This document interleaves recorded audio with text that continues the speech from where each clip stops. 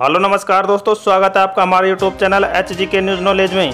राजस्थान में भयंकर बारिश के दौर के चलते जो पानी बड़े बड़े बांधों में आकर तो रुक गया है, लेकिन इस पानी को बड़े बड़े बाँध भी सहन नहीं कर पा रहे हैं। जी हाँ दोस्तों, हम बताने वाले हैं कोटा बैराज के बारे में। दोस्तों, कोटा बैराज से छोड़ा गया एक लाख बासठ हज़ार क्यूसेक पानी सुबह से धौलपुर पहुँचना शुरू हो गया है।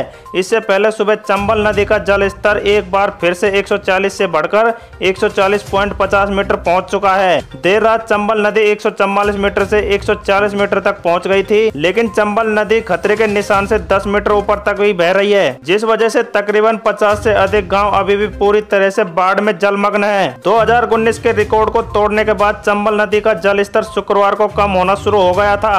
शनिवार को नदी का जल स्तर एक बार फिर से बढ़ने की वजह से अभी भी बाढ़ प्रभावित क्षेत्रों में राहत की उम्मीद नज़र नहीं आ रही है। चंबल में बाढ़ के हालात को देखते हुए कलेक्टर राकेश जायसवाल और जिला पुलिस अध्यक्ष केसरी सिंह शेखावत शनिवार सुबह से ही बाढ़ प्रभावित क्षेत्रों में डेरा जमाए हुए हैं।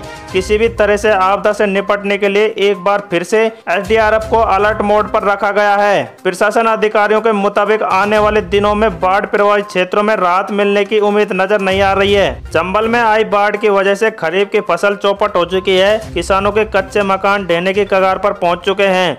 धौलपुर दौरे पर आए जिला प्रभारी मंत्री भजन लाल जाटव ने भी प्राकृतिक आपदा में हुए नुकसान का आकलन पर पीड़ितों को सरकार मदद पहुँचाने के निर्देश दिए हैं। धन्यवाद दोस्तों, हम आपके लिए मौसम विभाग से जुड़ी छोटी से छोटी खबर हमारे channel H K News Knowledge पर अपडेट करते हैं। तो दोस्तों, चैनल को सब्सक्राइब करना ना भूलिएगा।